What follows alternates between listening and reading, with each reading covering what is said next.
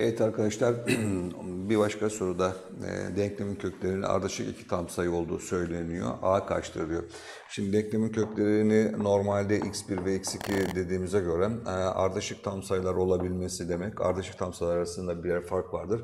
O zaman diyelim ki x1'imiz 1, x1 olsun. E, ikinci kökümüz birinci kökten bir fazlaymış. Yani ardışık İki tam sayının anlamı e, sevgili arkadaşlar budur. O zaman bana e, köklerin toplamı lazımdır. Köklerin toplamını hemen yazıyorum. Eksi b bölü a'dan 5 buldum. Köklerin çarpımını da hemen yazmam gerekiyor. c bölü a'dan da o zaman 3a eksi 1 e, bulmuş oldum. Evet hangisinden gideceğiz? Tabii ki bilinenden demiştik.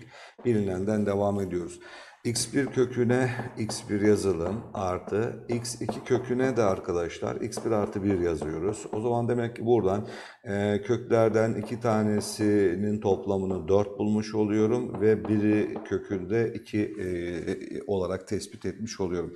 Köklerden birine 2 derseniz diğer kökünde 3 olduğunu zaten e, denklemlerden görebiliyorsunuz. Oraları yanlış yazmayalım. E, şurayı sileyim hemen e, ikinci kökün de arkadaşlar 3 olduğunu gördünüz. O zaman ben kökleri tespit ettim. Şimdi a'yı e, istiyorsunuz. Ne diyor? Köklerin çarpımı yani 2 çarpı 3 diyor. E, burası da 3a eksi 1 e, olarak e, verilmiş. O zaman cevabı hemen bulabiliyorum. 7 bölü 3 olarak bulmuş oldum bu sorunun e, cevabını. 6, 7 bölü 3. Evet bir başka soruya bakalım. Arkadaşlar denkleminin köklerinden biri a'dır. Eğer e, köklerden bir tanesini eğer a olarak bulmuşsanız siz demek ki bu kökü yerine yazabilirsiniz. x eşittir a yazılır diye yazayım e, yazılır. O zaman yazalım e, a kare Arkadaşlar artı e, 3 eksi 2a parantezinde dışarıda x gördüğüm yere a yazdım. Sonra 4a eşittir 0 geldi. Sevgili arkadaşlar bunu çözerken a kare artı 3a'yı yazdım. Eksi 2a kare dursun. Artı 4a geldi. Eşittir sıfırladım. Ee, şimdi birazcık düzenleme yaparsanız eksi a kare e, artı 7a eşittir sıfırdır ki a parantezinde e, 7 eksi a gelecek. Onun da ee, yine e, güzel yazalım şuraları. Ee, onun da e, çarpımlarının sıfır olabilmesi demek. Birincinin sıfır olması yahut da ikincinin sıfır olmasıyla mümkündür. Ama arkadaşlar bakın sorunuzda sizler e, a'nın sıfır olamayacağını e, söylemişsiniz. O zaman demek ki bu değildir cevap. a yerine 7 yazmam gerekiyor. Sizler ne e, istediniz? Peki a yerine 7 yazarak denklemi biraz düzelteyim. x kare, e, şimdi a'ya 7 yazarsanız 14, 11 olacak. Eksi 11 x gelecek. A'ya 7 yazarsanız da bu sefer arkadaşlar 28 eşittir 0 gelecek. Delta'nın e, kuralı neydi? B kare yani eksi 4 çarpı 1 çarpı 28 artık burayı da yapabilirsiniz. Evet devam e, edelim. Denkleminin köklerinin aritmetik ortalaması, bir köklerin, iki kökün aritmetik ortalaması kökler toplamının yarısı olarak adlandırılır. E, geometrik ortalamasına eşit. İki kökün geometrik ortalaması ya da iki sayının geometrik ortalaması kökleri alırsınız karekök içerisinde çarparsınız. Arkadaşlar buradan e, verilenleri yerlerine yazmam lazım. Önce kökler toplamının formülünü hemen yukarıdan bir bulayım. Eksi b bölü a'dan 2p olarak bunu buldum. Köklerin çarpımını da hemen e, oradan yazalım. Kökler çarpımının formülü de c bölü a'dan bu sefer o da 2 olarak bulundu. Bu ikisini denklemde kullanayım. Kökler toplamı yani 2p e, bölü 2 demişsiniz. Eşittir. Köklerin e, çarpımları onlara da 2 demişsiniz. Burada gerekli düzenlemeler yaptığınız takdirde P'nin kök 2 olduğunu bulacaksınız. Devam ediyorum arkadaşlar. E, bir ikinci denklem vermiş. Denklemin iki reel kökü varmış arkadaşlar. İki reel kökü tehlikeli bir sorudur. Denklemin iki tane reel kökü varsa bunların e, birbirinden farklı olup olmadığını bilmiyorum. Mesela kökler Ee, 4 4 olabilir. O zaman sizler iki tane köke sahipsiniz ama delta da eşittir 0 kökler farklı demedim. Veya 4'e 5 olabilir. O zaman iki tane farklı köke sahipsiniz. Delta büyük 0 olmalıdır. Çünkü e, şimdi yukarıdaki soruda e, altını çizdim. Denkleminin iki reel kökü vardır. Farklı demediği için ben e, bu soru için şöyle düşünmem lazım. Delta büyük eşit 0 olmalı. Yani ya e, iki kök birbirine eşittir ya da iki kök birbirinden farklıdır. Hemen delta'yı yazıyorum arkadaşlar. B kare yani e, karesini alacağımdan dolayı aslında yazayım da e, eksi budur. B kare eksi 4 çarpı A çarpı C'si de 4'tür. Bunun sıfıra eşit ve sıfırdan büyük olma halini soruyor. Şimdi e, şurası e, karesi alınacağından dolayı aslında m eksi 2'nin karesi eksi 16 büyük eşit 0 şeklinde yazılabilir. Hemen e, şuraya getireyim sizi. m eksi 2 eksi 4 ve e, m eksi 2 artı 4 şeklinde yazılacaktır burası. Biraz daha düz, düzenlediğiniz zaman m, m eksi 6 ve e, m artı 2 şeklinde büyük eşit 0. Şimdi e, bu bir eşitsizlik sorusudur arkadaşlar. E, 11. sınıfta eşitsizlik sistemlerinde bunları göreceksiniz. Biz bunları e, şimdi yine de size e, hafiften e, anlatacağım. E, öğreneceksiniz. Basittir çözümleri. Şöyle arkadaşlar, önce e, bunların köklerini sıfıra eşitleyerek köklerini buluyorsunuz. Köklerden biri 6'dır. Ondan sonra köklerin ikincisi de eksi 2'dir. E, çok basit algılayabileceğiniz bir formülsüz e, bir şey göstereceğim size. Kökleri sayı doğrusu üzerinde küçükten büyüğe doğru sıralayacaksınız. Şimdi yapacağınız işlem çok basit. 6'dan büyük bu tarafa doğru artı sonsuza doğru gidiliyor. Bu tarafa doğru eksi sonsuza doğru gidiliyor. 6'dan büyük bir sayı yerine yazdığınız zaman mesela 7 gibi bir sayı yerine yazdığınız zaman önce denkleminizi de şurada yazayım. E, m eksi 6 çarpı e, siz m artı 2 diyorsunuz. Evet denklemimiz bu. Sevgili arkadaşlar m yerine 6'dan büyük yani 7 gibi yazdığınız zaman burası artı olur, burası da artı olur. Çarpımlarınız artı olur. O zaman ben buraya artı yazdım. Şimdi şu aradan bir sayı alıyorum dikkat edin. Eksi 2 ile 6 arasında bir sayı tutuyorum 5. 5'i bu denklemde yerine yazdığınız zaman arkadaşlar birinci taraf 5 yazılınca eksi olur. ikinci taraf 5 yazılınca artı olur. Cevabınız eksi olur. Demek ki şu arası hep eksidir. Şimdi şurayla ilgili bir işlem yapıyorum. Eksi 2'den küçük bir sayı tutuyorum. Diyelim ki eksi 3. Eksi 3'ü buraya yazdığınız zaman bu denklemin içerisi eksi kalır. Eksi 3'ü yan tarafa yazdığınız zaman orası da eksi kalır. Çarpımları artıya dönüştürür. O zaman burası da artı. Peki sizler ne istiyorsunuz? Sizler denklemin sıfıra eşit ve sıfırdan büyük halini istiyorsunuz. Yani sizler denklemde şu kısımları istiyorsunuz. Pozitif olan kısımları. o zaman çözüm kümesini yazıyorum. Eksi sonsuzdan eksi sonsuzdan eksi 2'ye kadar eksi sonsuz yok ama eksi 2'yi verirseniz olur. Eşitlik var çünkü. E, artıdan artı sonsuza kadar gideceğim. 6'yı da alabilirim. Dediğim gibi ben e, hafif e, kulağınızda kalsın diye yapıyorum. Bunu 11. sınıfta e, normalde eşitsizlikler konusunda görüyoruz. Evet bir başka soruya gelelim. Şimdi denkleminin kökleri eksi 3 ve 5 olduğuna göre a bölü b nedir?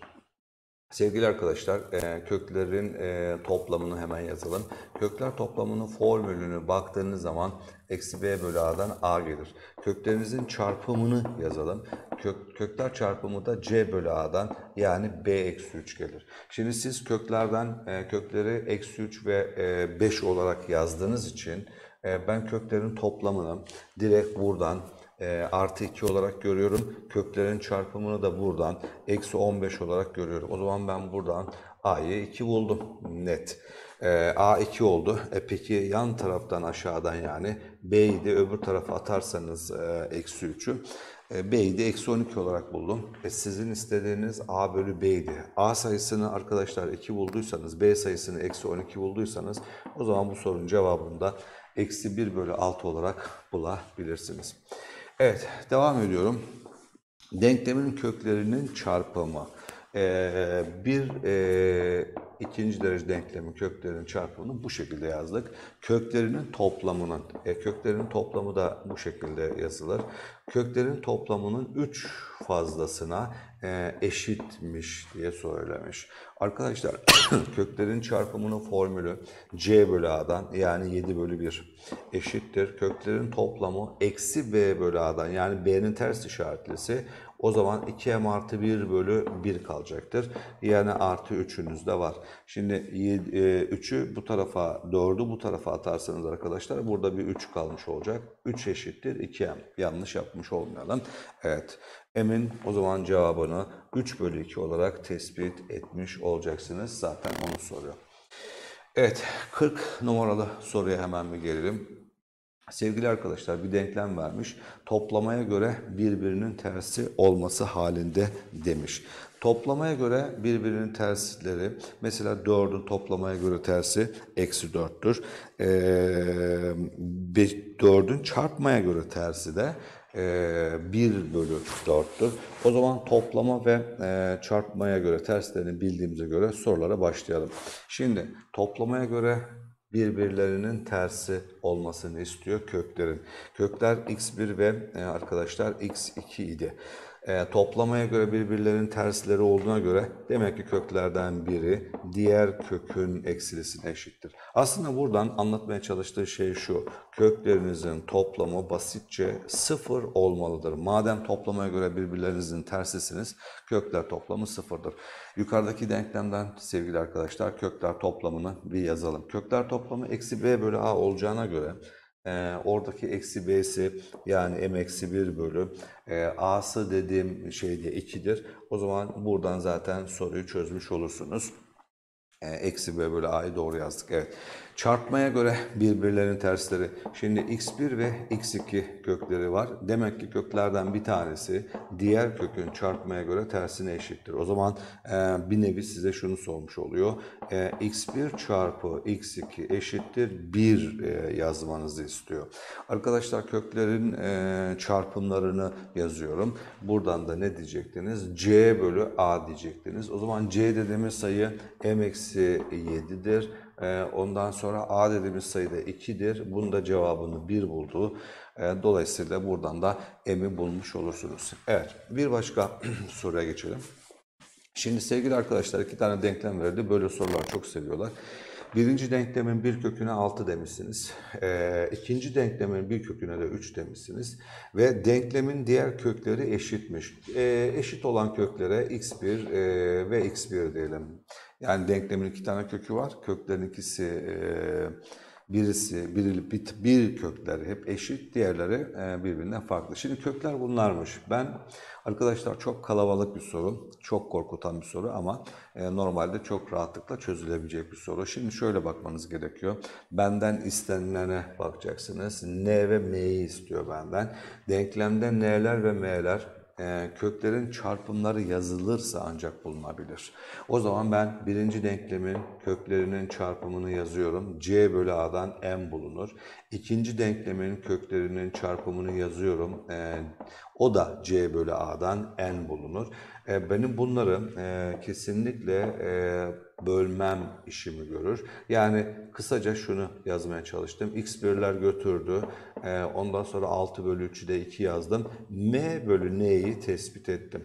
Yalnız yandaki e, soruda N bölü M yani bunun tam tersini soruyor bana. 1 bölü 2 dedim. O zaman bu sorunun cevabını yazıyorum. Bu 1 bölü 2 çarpı N bölü M'den kaynaklanan bir farklılığı yaptım orada. N bölü M'ye de 1 bölü 2'yi tekrar yazınca cevabımız arkadaşlar 1 bölü 4 olarak bulunmuş oldu. Evet bir başka soru. Ee, arkadaşlar bu güzel bir sorudur. Ee, ne diyor? Ee, köklerin diyor e, P'nin eksi 2 olmadığını söylüyor. Denklemin birer kökleri ortak. Şimdi eğer e, sevgili arkadaşlar e, x kare eksi px artı 2 eşittir 0.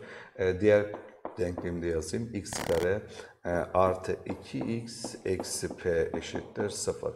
Şimdi e, denklemleri yanlış yazmadık değil mi? Evet doğru.